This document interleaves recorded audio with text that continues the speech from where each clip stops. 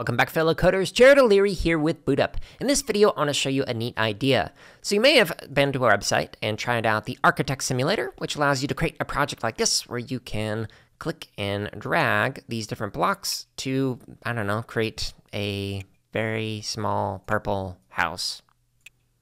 Something like this. Now, when I created that project, I was actually inspired by Super Mario Maker, so I thought that was a pretty cool game and a pretty neat idea. And in particular, here's a project called Super Mario Maker Scratch version 3.0 beta, and it is by Taco360. So you press the green flag, and you're able to click to put the different parts of the world wherever you want to, and you can press W, and that'll allow you to move the flag somewhere. And you can click on different objects, and that will allow you to use those objects, like collecting the coins, etc. And then you can even move Mario using the arrow keys.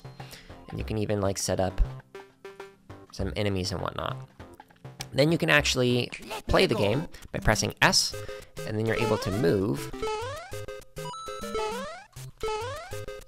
And then let's see if I can make it. Woo! And then I made it, okay? So that I thought was a pretty neat idea that I wanted to share with you.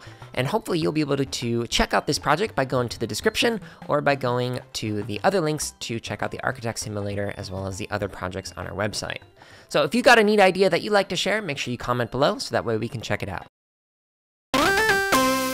Thank you so much for watching this video. Let us know something that you learned or created in the comments below. And make sure to subscribe, like, and check out the links in the description for even more free resources, such as videos, free lesson plans, and our podcast.